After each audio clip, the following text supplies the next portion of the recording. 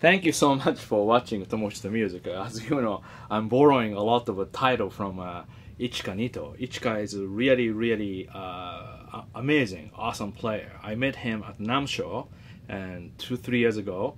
He's very polite, very nice guy. He's really listen what I say, and um, I respect, admire, like you know him. It's amazing player. It's very, very talented.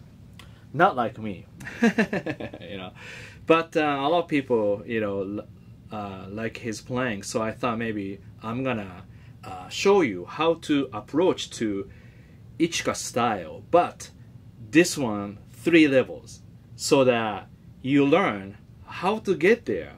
See, copying him, not really great idea because he's so super super talented guy. He just think 200% more than the regular people, you know, way up there. So you you even you imitate it, probably you can't really you know digest everything. So first, uh, okay, so three levels. Let's do this one. First one, what we do is learn basic chord forms. Okay, so um, I think that title "I Play a Guitar" that's the one he uh, posted around September 11th, I believe and uh, that was amazing and so many so much going. But the first you have to understand chords so level one understand chord progression. Without this you cannot go anywhere. And there always people say how you solo on how to play phrase. At least you want to know really basic uh, uh, seventh arpeggios. So i show seventh arpeggio.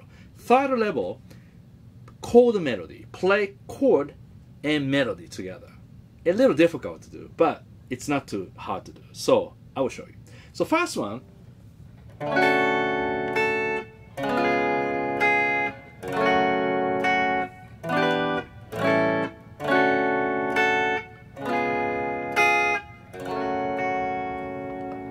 Sounds like that to me, you know, basic home.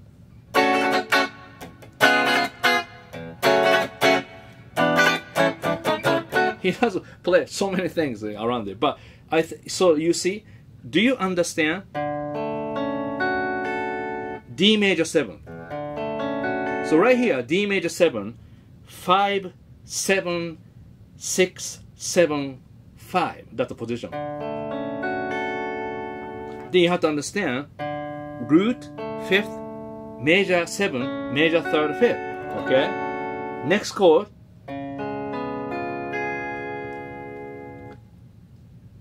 I would say this one, yeah, C sharp seven. you know, so like four, six, four, six, four position. Root, fifth, flat seven, major third, fifth. Then G minor or G minor seven. Okay, G minor seven. So now two, four, two, two, two, two, two. So root, flat uh, five. I'm sorry, flat 7, flat 3, 5, 1. It's almost like that. Like a, sounds like a D is a key. Could be, but then this one, it's a dominant function to resolve to F sharp minor. So interesting. If it's key of D, uh, this is a 6 so this is called 5 7 of 6, what we call secondary dominant. You know? But then, now here, E minor. Okay. 7 9 7 8 7. Root, 5th, flat 7, flat 3, and 5. E minor. Simple A7 five seven five six five five. So root fifth flat seven major third fifth root. So you have to really so like you know his level he can hear any chord progression, dissect chord progression in second. Because ear ear is developed, understand, really see those colors. So once you hear something related to these number system theory, so okay, so you hear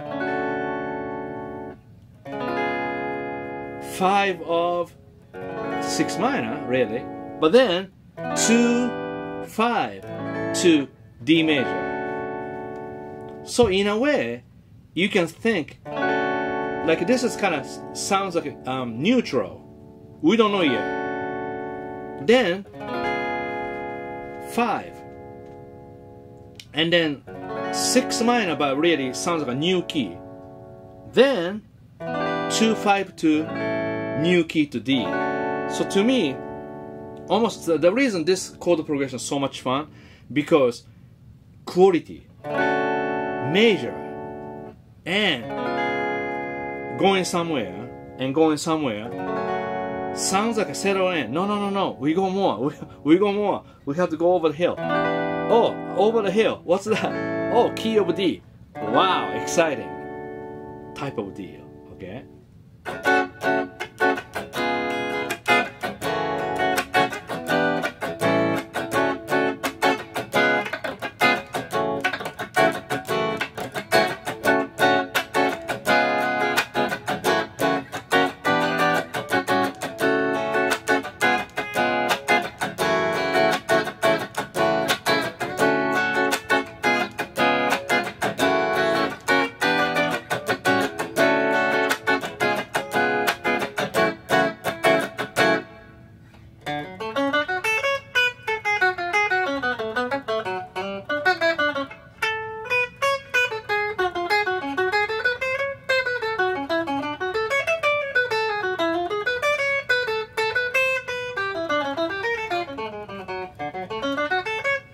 So so this one called D major seventh arpeggio.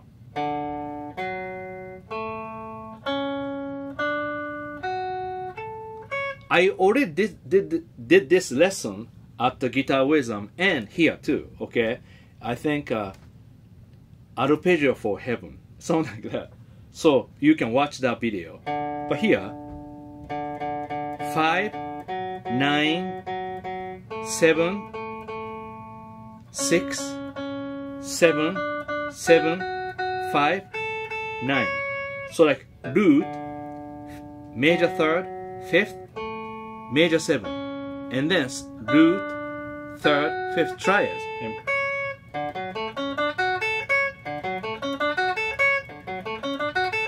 so now, stay same place.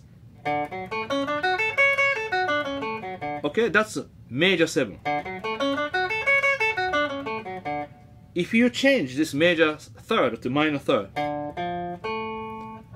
major third to flat seven. So if you have minor third and flat seven like this, root, minor third, fifth, flat seven, root, minor third, fifth, flat seven. Slowly.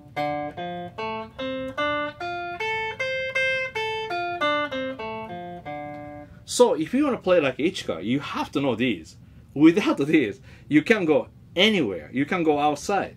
You have to stay inside, you know. So, and dominant seventh, I change the fingering a little bit. Like that. That's because root, third, fifth, flat seven, root, third, major third, root, and fifth flat seven. Okay, so everything fifth string root, so that way, kind of kind of system like the same, right? And uh, for his tone, you wanna do use these two pickups, two pickups. You know, this is now I'm running single, single, single. Okay. So slowly, then then C sharp. F sharp minor. Then two bar each. I'm sorry, two beat each. Sorry. Sorry. So you go.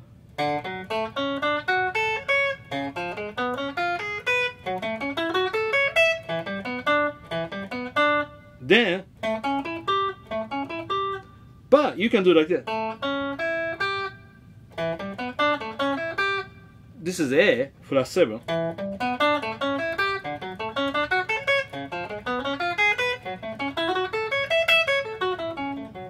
So slowly you can practice.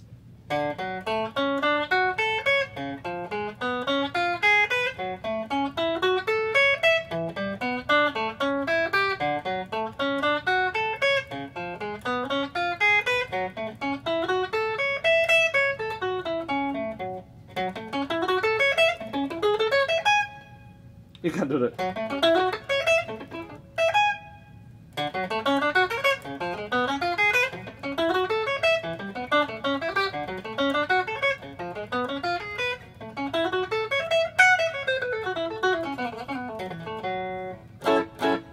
Okay. Third level. Play chords and play the melody. So this case, right?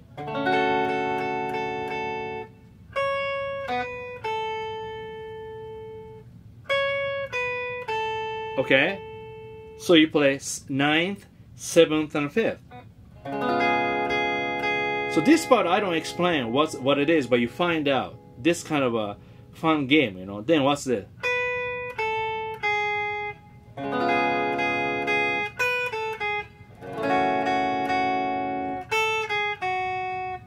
Then so like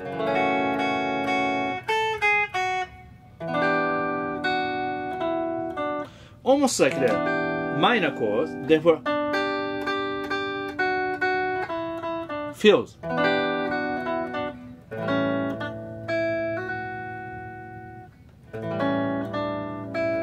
Even this A7, fourth, fifth.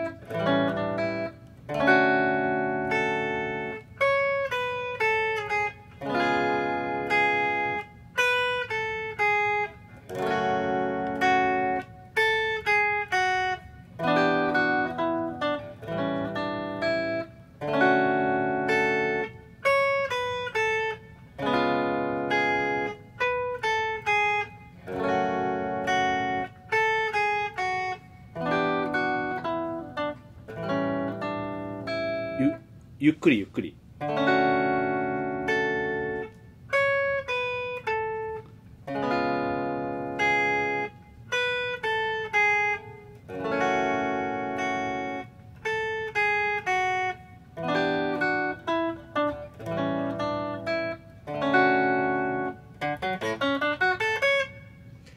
It's more, a lot of fun, right? It's like now you can play basic chords, you can do arpeggio, you can do a little bit melody, you can combine all together.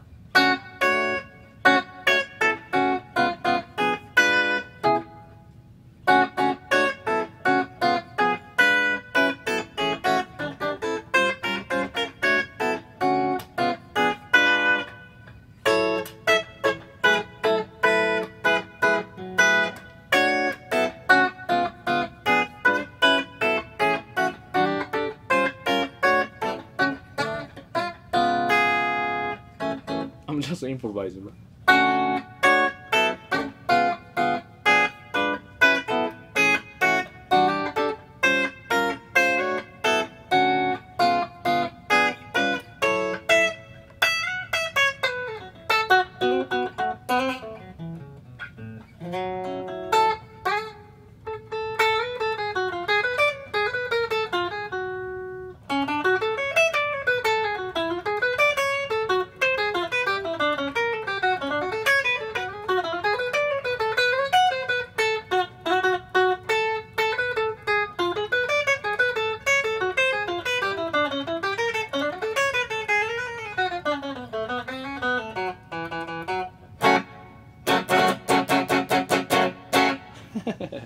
Thank you so much for watching Tomo Fujita Music. It's always fun working with you. Okay, so if you like this video, share this video with friends and follow my Tomo Fujita Music. Also, you are welcome to join my Guitar Wisdom anytime. Alright, so see you soon. Thank you.